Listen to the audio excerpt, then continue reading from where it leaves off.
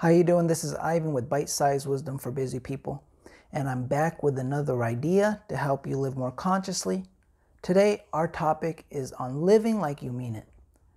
Many of us have heard the importance of learning to be present, of living in the now, but how many of us are actually really living it? How many of us really understand what that even means or how to do it? So today, I'll briefly touch upon this by emphasizing that we need to live like we really mean it.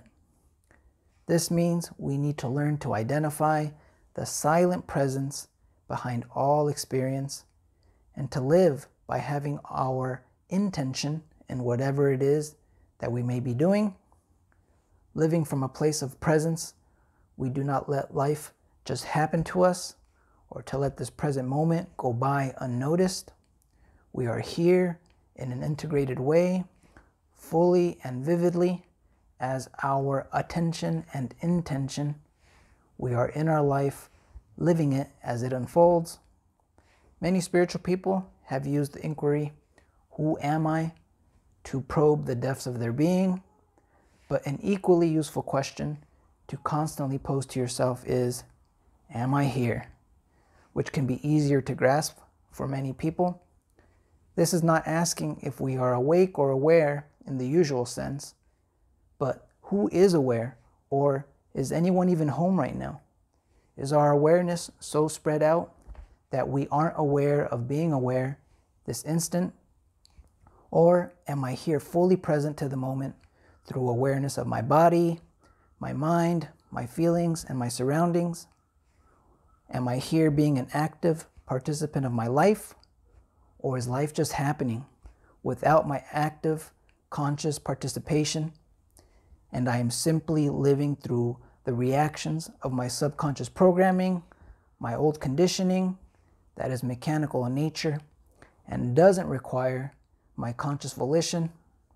My unconscious tendencies are then living my life. All the while, I am asleep at the wheel while mistakenly dreaming that I am still in the driver's seat in charge of my life.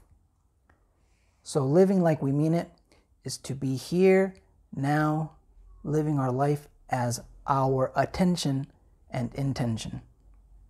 Being simultaneously aware of our thoughts, emotions, the body's sensitive energies, moment to moment. Doing this, we can learn to not identify with our old patterns. We learn to see them in action clearly. And if I can see it, I don't have to be it. Freeing up this locked up energy, and you can think of your attention as a combination of our energy and our will. We are then able to actively direct our attention more consciously. By actively directing our attention, it aligns our various functions of thinking, feeling, and sensing in a coherent way. Usually, most of us are thinking one thing, feeling another, and sensing a third. So, by having our energy scattered, we are not able to attend to the moment in a wholesome way. It is our will, our big I, that directs and acts through our attention.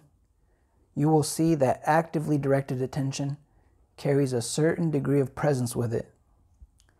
Eventually, we can be in a position where we effortlessly allow our free attention and the intention of our higher will to be lived through us in real time, if we can open up to our attention, we can invite ever increasing amounts of presence from our higher will to descend upon us and will lead us to being totally here and now. The unknown has made itself known to us.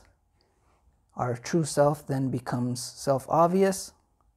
So, for the next few days, constantly ask yourself Am I here?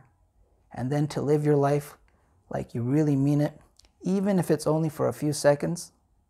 And then you can see that at the end of the day, you will see that moment was the most meaningful part of your day because you were living it like you really mean it.